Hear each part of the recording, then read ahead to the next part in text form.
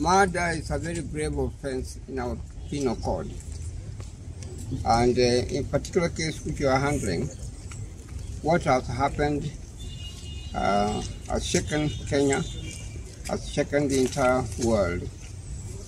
Uh, killing of, of old women is something that we, we have to make sure that it's not repeated in the country in the future.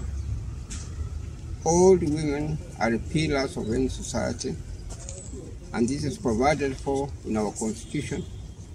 It is also provided for in international instruments that old men and old women have to be respected, they have to be given comfort, but not to be killed the way this happened in Kisii.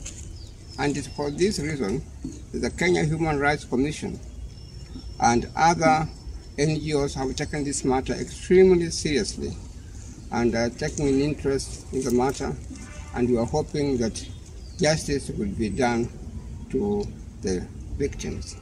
Thank you.